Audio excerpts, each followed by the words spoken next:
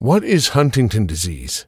Huntington disease, or HD, is a genetic neurodegenerative disorder. What does this mean? Genetic means it runs in families. Neuro has to do with cells in the nervous system, specifically in the brain. Degenerative tells us that it gradually worsens over time. Disorder is another word for disease. HD is often described as having Parkinson's, ALS, Alzheimer's, and schizophrenia all at the same time. HD affects a person's physical, thinking, and emotional abilities.